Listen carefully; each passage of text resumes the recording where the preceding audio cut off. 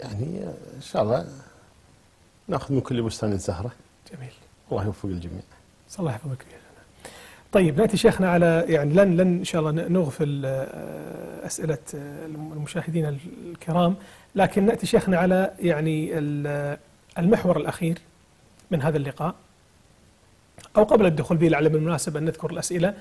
آه، سؤال أختنا أم فهد تقول هل الدعوة فرض عين أم كفاية؟ فرض عين وفرض كفاية. فرض عين وفرض كفاية. نعم. يعني فرض عين على كل مسلم أن يدعو إلى الله تبارك وتعالى. يعني وكلهم بحسبه كل إنسان فينا يحتاج أن يدعو. نعم. لأن كلنا نشوف أشياء غلط و- سواء تقصير في واجب أو فعل محرم. جميل. فكلنا بحسب كل بحسبه. فالجميع عليه أن يدعو إلى الله تبارك وتعالى. وقد يكون فرض كفاية في أشياء معينة. مم. في أشياء معينة. رأينا منكرا. طيب. فلو أنكرته أنت يكفي. ما يحتاج أن أنكر. مثلا ما يحتاج عبد الله وخالد ويوسف ومحمد وحسين سقط هنا على الباقين. ونورة وفاطمه ما نعم. يحتاج ينكرون خلاص أنت أنكرت سديت عنه. تمام. فقد يكون فرض عين وقد يكون فرض كفاية. جميل. نعم. آه، أيضا يعني تسأل آه، أختنا أم فهد عن النكت سواء في البرودكاست أو ال- والله هذه يعني. كما ذكرت الأخت يعني بعض النكت تصير فيها استهزاء بالله تبارك وتعالى. أو في الأنبياء. أو في بعض البلاد السخريه من أهل بلاد معينة مم. أو من قبيلة أو من. كذا هذا كله لا يجوز وهذه تورث البغضاء بين الناس والعداوات بالله. مم. إن ناس تطنز على ناس وناس تضحك على ناس وهذا ما يجوز ابدا نعم أيضا آه، ننتقل لأسئلة اخينا أبي محمد آه، يعني حقيقة سأل سؤال جدا مهم وأنا أشكره عليه لأن هذا يعتبر يعني استدراك على ما فاتني في إعداد محاور اللقاء آه، وهي يعني مسألة شيخنا تؤرق الكثيرين. يعني يقولون يا أخي أنا لا أدعو. لماذا؟ يقول لأنني أنا أصلا مقصر يعني كيف أقول لشخص مثلا لا تدخن وهذا الشخص يدخن؟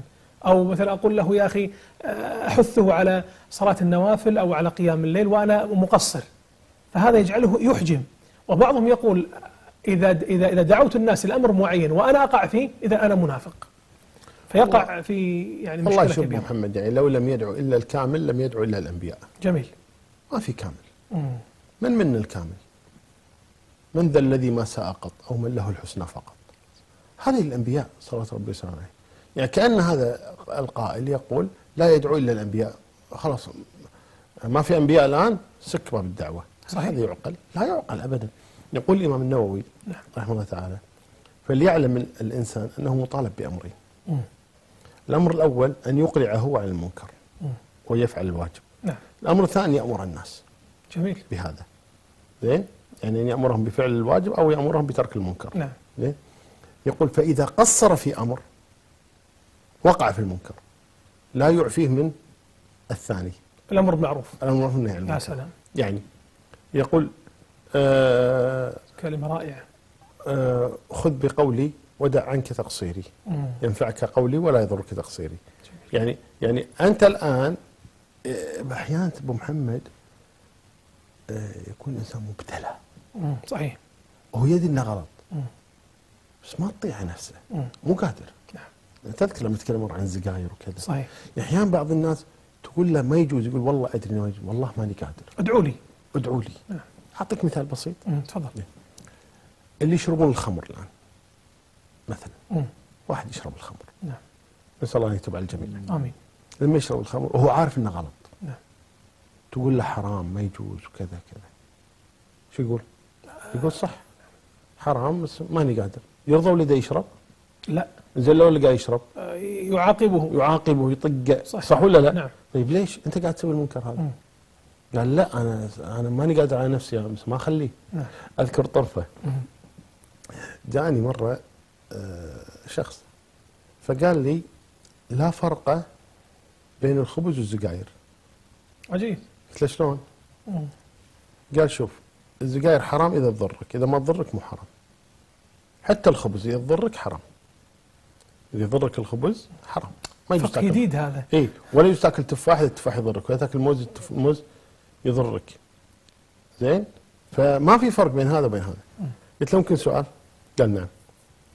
قلت له عيالك ياكلون خبز قال لي قلت له تجيب لهم أنت الخبز قال أكيد قلت له زين عقب ما تتغدون لو شفت واحد من عيالك ياكل خبز عندك مشكلة؟ قال. قلت له لو شفته يشرب سيجارة؟ قلت إيش رأيك أنا بشور عليك شور؟ قال نعم. قال قال السجاير من الطيبات ما عندي مشكلة فيها يقول. إن ضرت صارت حرام ما ضرت هي من الطيبات. قلت له بشور عليك شور؟ قال نعم. قلت له إيش رأيك؟ حكي كان يتكلم الضحى. قلت له اليوم بعد ما تتغدى انت وزوجتك وعيالك تاخذ سيجارتك وتقول حق المرة ولعي لي بعدين هي تحط سيجارة بحلجها وتقول لك ولع لي. تجيبوا العيال قاعدهم قدامك واحد سيجارة. خبز. وتولعون حق بعض. عرفت شلون؟ انت تولع حق العيال والمرة تولع حق العيال. وتولعوا كلكم. وش رأيك يعني؟ ليش تحرمهم دامها من الطيبات؟ ليش ت- قال لا. قلت له ما يصير لا. صح. تحكم هذا. هذا تحكم. إيه. قلت له ما يصير لا. فكما أنك ترى أن هذه من الطيبات صحيح. والخبز كانت تعطيهم الخبز ليش ما تعطيهم سجاير؟ ليش تمنعهم من هذا؟ فقصدي أبو محمد أن الإنسان أحيانا هو واقع في الخطأ. نعم. ما يعني هذا كوني أنا واقع في الخطأ أني أسكت عن الآخرين إذا وقعوا في الخطأ. صحيح. ماشي أنا واقع في الخطأ أنا مقصر. ما ما أنهى الناس. أعطيك مثال أقرب. نعم. الآن حكام المسلمين كما سأل الأخ الجزائري نعم. قبل قليل حفظه الله. حكام المسلمين مثلا. الان الحاكم نفسه كحاكم مسلم الان ما عنده أخطاء؟ بلى. عنده أخطاء. زين؟ نعم. زين. هل معنى هذا خلاص يسيب البلد؟ لا. يقول والله أنا أهم أنا عندي أخطاء ما يصير أنا اللي عندي أخطاء أعدل؟ خلاص سيب البلد. تصير فوضى. صحيح. ما يصلح هذا محمد. لا شك. ما يصلح كوني أنا أخطئ معناته خلاص لا أمر ولا أنهى. ماشي أنت تخطئ هذا هذا خطأ. كونك ما تمر هذا خطأ ثاني. صحيح. ففرق عظيم بين إنسان يخطئ خطأ واحد وبين إنسان يخطئ نعم خطأين. خطأ. نعم صحيح خطأ فعله وخطأ ترك الأمر معروف. الأمر والنهي نعم, نعم. نعم اذا شيخنا يعني ربما أنا أستسمح أخينا آه، أبي محمد آه، يعني الوقت قد ضاق حقيقة وبقيه الأسئلة أظنها خارج يعني الموضوع ما يتعلق في الماموم العباسي والبرامكة وجرح التعديل فيعني أستبيح عذرا شيخنا الوقت يعني قد انتهى فأستأذنكم فقط حتى نكمل المحور الأخير معوقات الدعوة يعني آه، حضرت ربما يعني أيضا قد أفدتمونا فيه آه، الفتور التهرب من المسؤولية يعني من أسباب ترك الدعوة الفتور. ضعف الإيمان يعني. التهرب من المسؤولية كل يلقي هذه ال- القضية على الآخر. وكذلك استصغار النفس يقول أنا لا أرتقي أن أكون داعية. وهذه حقيقة مشكلة.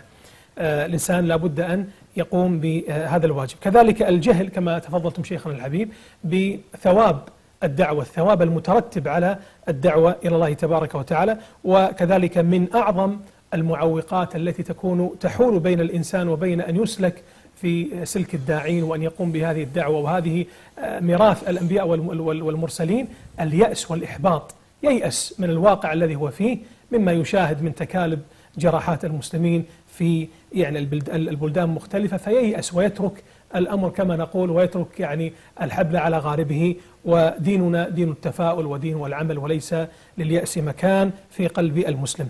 آه شيخنا الحبيب آه يعني الوقت قد انتهى والحق كان بودي أن أطرق معكم بتفصيل هذا هذه المحاور لكن إن شاء الله تعالى فيما. ذكرتموه فيه يعني نفع وخير للمشاهد الكريم الله. وإذا كان شيخنا في تعليق أخير من قبلكم حفظكم الله لا فقط آه، المحاور الأخيرة هذه جميلة جدا حقيقة نعم دعوة الله تبارك وتعالى. وأنا أحب أن أربطها نعم. بمسألة أخي فاروق أو نعم. أبي فاروق لأن شكله كبير في السن نعم طيب في هذا الموضوع نعم أنا أقول يعني قضية واحدة فقط هو يشعر بالضيق لوجود الفساد وكذا. نعم.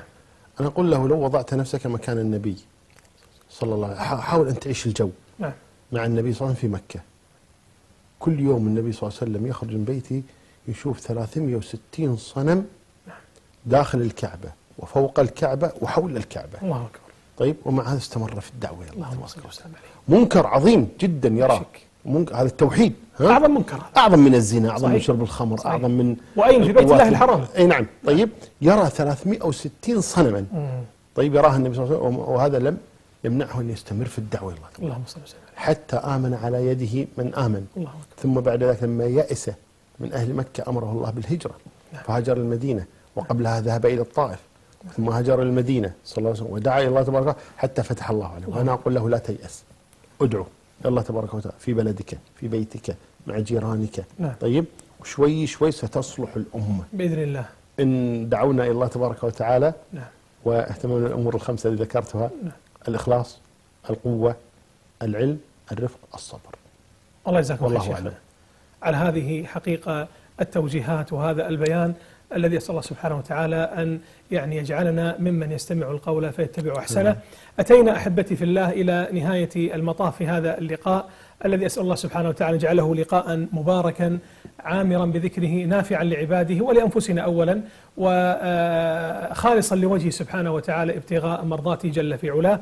كما أسأله سبحانه وتعالى أن يجمعنا دائما على الخير في هذه الدنيا وأن يختم لنا جميعا بالحسنى وأن يجمعنا ووالدينا في الفردوس الأعلى مع النبي صلى الله عليه وسلم. في ختام هذه اللقاء. أستودعكم الله ونلتقي بإذن الله عز وجل في الأسبوع القادم مع برنامجكم من القلب ومع موضوع جديد. إلى ذلكم الحين أستودعكم الله والسلام عليكم ورحمة الله وبركاته.